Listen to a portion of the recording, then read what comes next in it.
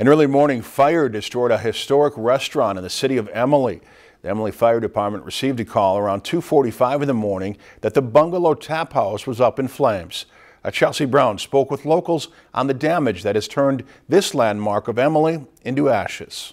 The smoke and the flames were rolling and there was, it, you feel, felt so helpless. It was, um, I compared it to um, watching a family friend die while you hold their hand. And that's really what this is to this community. After closing down the restaurant around 9:30 last night, many are still in disbelief that their place of work, their go-to restaurant and second home only stands in pieces. We all left in really good spirits last night. We just felt good and ready for the big, you know, the next couple weekends coming up and just it was a great feeling last night.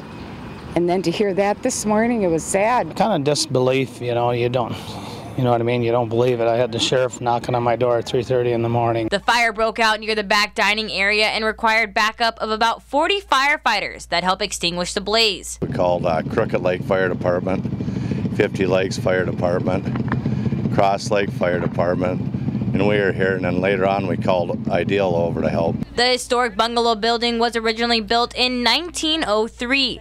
Spindler has been the owner for about 20 months and was in the process of remodeling. Just started doing things. We put new bathrooms in and uh, all new kitchen equipment and just uh, everyday repairs and this and that. To see his improvements go up in flames, he said it was heartbreaking.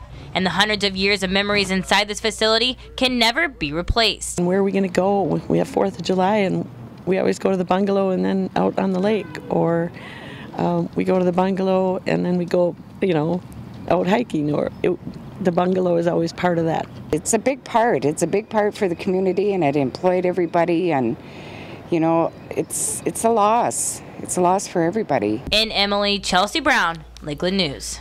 Spindler said it was an unfortunate loss with the 4th of July and Emily Days coming up, two of their biggest and busiest weekends. The cause of the fire is still under investigation. If you've enjoyed this segment of Lakeland News, please consider making a tax-deductible contribution to Lakeland Public Television.